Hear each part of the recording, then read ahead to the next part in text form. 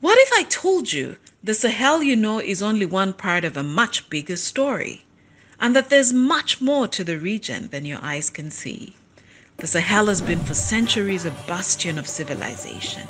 From the Manden Charter to the Timbuktu manuscripts, it has sustained powerful kingdoms and empires. The Sahel has stood tall at the pinnacle of governance in Africa. It was home to the first constitution in the epic times of Emperor Sundiata Keita and brought to the world first class knowledge in science, medicine, the arts, and philosophy.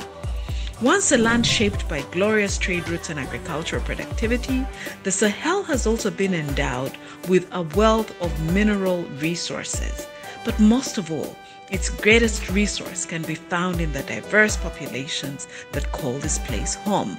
Firmly rooted in these foundational assets are embedded grains that are waiting impatiently to regenerate and flourish towards a thriving future of hope and promise.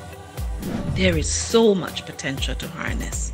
The Sahel is home to over 350 million people, more than half of them women, displaying sheer ingenuity, passion, and resilience. These young women and men are at the forefront of innovation trends, birthing solutions for their communities, sharpening their strength, creativity, and mental fortitude to navigate the most challenging circumstances. And yet, boundless potential and possibility still lies ahead, awaiting the right investment appetite. The Sahel region sits on extraordinary renewable energy potential and hosts the largest aquifers in the world. Solar resources abound in the region, with daily solar radiation levels averaging between 4 to 6 kilowatt hour per square meter, twice more than Europe. Its wind potential is abundant in the coastal zones of countries like Senegal and the Gambia, with biomass resources well distributed across the Sahel. Renewable energy technologies are deployable in a decentralized and modular manner, making them particularly suitable for off grid solutions in the Sahel.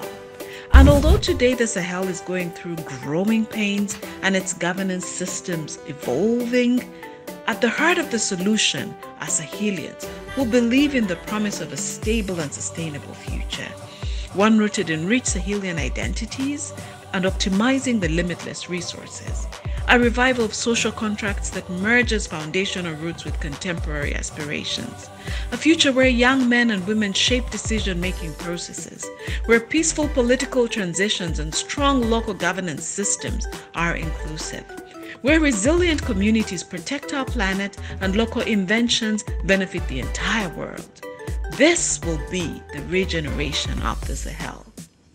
A future we can call ours.